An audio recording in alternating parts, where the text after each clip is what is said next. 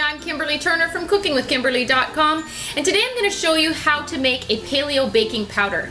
Now on the paleo diet baking soda is allowed however baking powder often is not because the additives in baking powder are not allowed i.e. cornstarch and things of that nature even aluminum. So what you can do is you can make your own baking powder as well and it's super easy.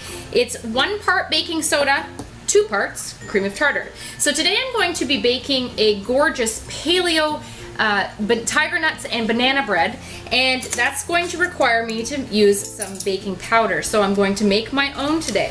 I'm going to combine one teaspoon of cream of tartar and a half teaspoon of baking soda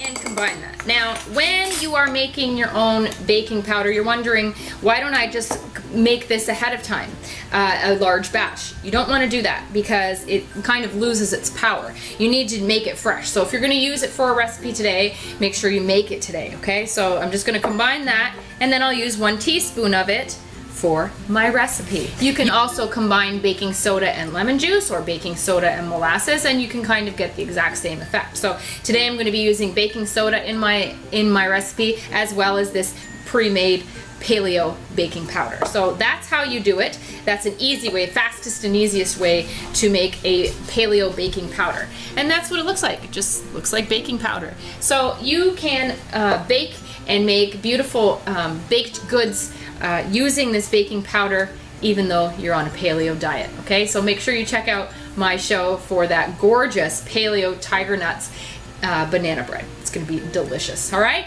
That's it. That's all. Follow me on Twitter at Cooking with Kim E with a capital E. Follow the fan page at facebook.com slash cooking with Kimberly. You can check me out on instagram.com slash web chef of all trades. You can find my shows on youtube.com slash cooking with Kimberly. And please check out my website at cookingwithkimberly.com. Make sure you interact with us and subscribe. And that's it. Be a champion in your kitchen and eat deliciously. Bye.